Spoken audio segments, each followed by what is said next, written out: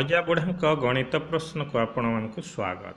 ଆଜିର ପ୍ରଶ୍ନ ଟିକିଏ ଅଲଗା ଧାରଣର ଅଜା ବୁଢ଼ା ପଚାରିଦେଲେ ଏକ ଅଖାଡ଼ୁଆ ପ୍ରଶ୍ନ ପ୍ରଶ୍ନଟା ହେଉଛି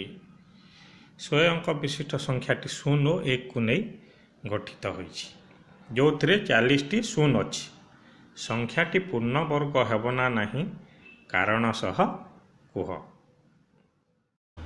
ଭାରି ଅଖାଡ଼ୁଆ ପ୍ରଶ୍ନଟା ପଚାରିଦେଲେ ଅଜା ବୁଢ଼ା ଅଜା ଗୋଟେ ପଚାରିଦେଲେ ଭାରି ଅଖଡ଼ା ପ୍ରଶ୍ନ ସେ ପୁଣି ଶହେ ଅଙ୍କ ବିଶିଷ୍ଟ ସଂଖ୍ୟା ତ ଶହେ ଅଙ୍କ ବିଶିଷ୍ଟ ସଂଖ୍ୟା ବର୍ଗ କେମିତି ଆମେ ଜାଣିବା ମହାମସ୍କି ପ୍ରଶ୍ନ ଏମିତି ପ୍ରଶ୍ନ ବହୁତ କଡ଼ା କିନ୍ତୁ ଏ ପ୍ରଶ୍ନରେ ଆମେ ତାମାନେ କମ୍ ପାଠରୁ ମଧ୍ୟ ଏ ପ୍ରଶ୍ନର ଉତ୍ତର ବାହାର କରିପାରିବା ତ ଶହେଟି ସଂଖ୍ୟା ଅଛି ଶହେଟି ଅଙ୍କ ଅଛି ଶହେଟି ଅଙ୍କରୁ ଚାଳିଶଟି ଅଙ୍କ ହେଉଛି ଶୂନ ଚାଳିଶଟି ଅଙ୍କ ହେଉଛି ଶୂନ ତ ବାକି ରହିଲା ଷାଠିଏଟି ଅଙ୍କ ଏକ ରହିଲା ତ ଏକ ଯୋଗ ଦୁଇ ଏମିତି ଷାଠିଏଟି ଏକକୁ ଯୋଗ କରିଦେଲେ ଟୋଟାଲ ଆମେ ପାଇବା ଷାଠିଏ ଅତେ ସମୁଦାୟ ଅଙ୍କମାନଙ୍କର ଯୋଗଫଳ ଷାଠିଏ ତିନି ଦ୍ୱାରା ବିଭାଜ୍ୟ ଷାଠିଏ କାହା ଦ୍ୱାରା ବିଭାଜ୍ୟ तीन द्वारा विभाज्य अतः से जो संख्या स्वयं अंक विशिष्ट संख्या तीन द्वारा विभाज्य तीन द्वारा विभाज्य मान से संख्याटी हे थ्री एक्स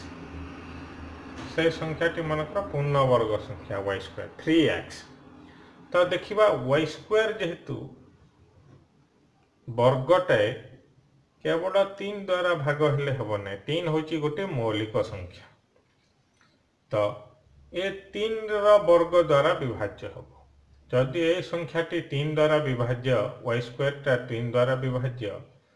ताल वाई मध्य तीन द्वारा विभाज्य हम अत वाई स्क्वेर कौन हम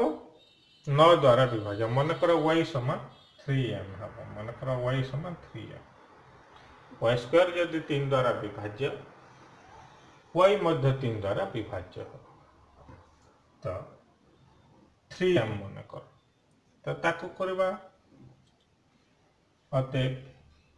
वाई स्क्वायर सामान हूँ नाइन एम स्क्वायर